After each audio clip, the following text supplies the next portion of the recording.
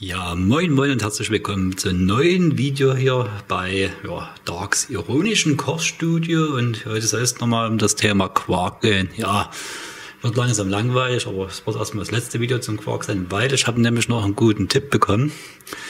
Da komme ich gleich auf euch zurück. Diesmal auch ein bisschen anders in der Zusammensetzung. Es ist aufgetaut Erdbeeren, Brombeeren, Heidelbeeren und Kirschenmix und noch irgendwelches anderes gedönst.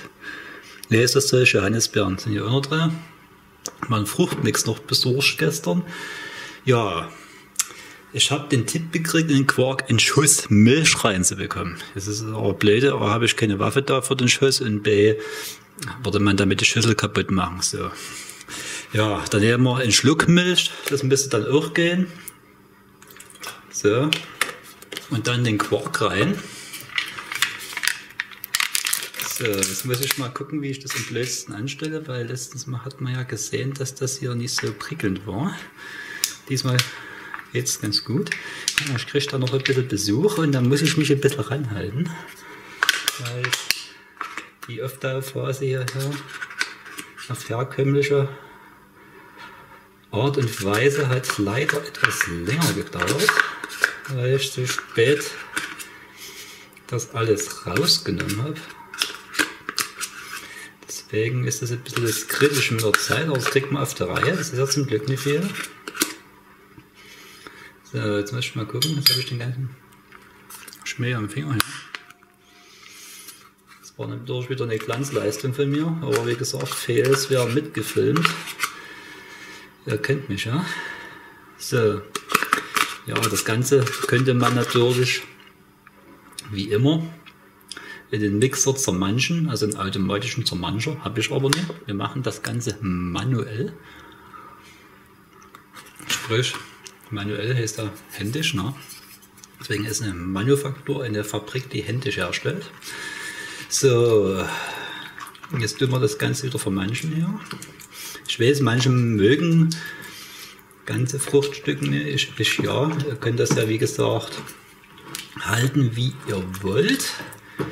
Manche tun noch ein bisschen Zucker drin, ich aber nicht, weil ich bin dafür, dass der Zucker hier in der Früchte eigentlich ausreicht, weil die werden halt meistens eh nochmal gezuckert. Denke ich zumindest, also normal, wenn man das macht. So, rühren wir das Ganze mal um.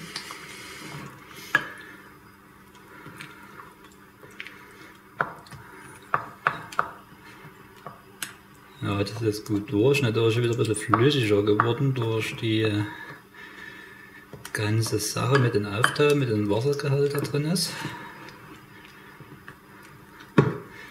So.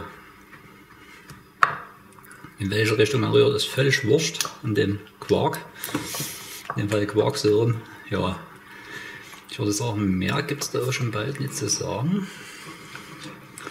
Aber ich muss das noch ein bisschen verrühren, dann nochmal in den Kühlschrank stellen. Ich hoffe, dass das dann schon wieder fest ist, wenn mein Besuch kommt.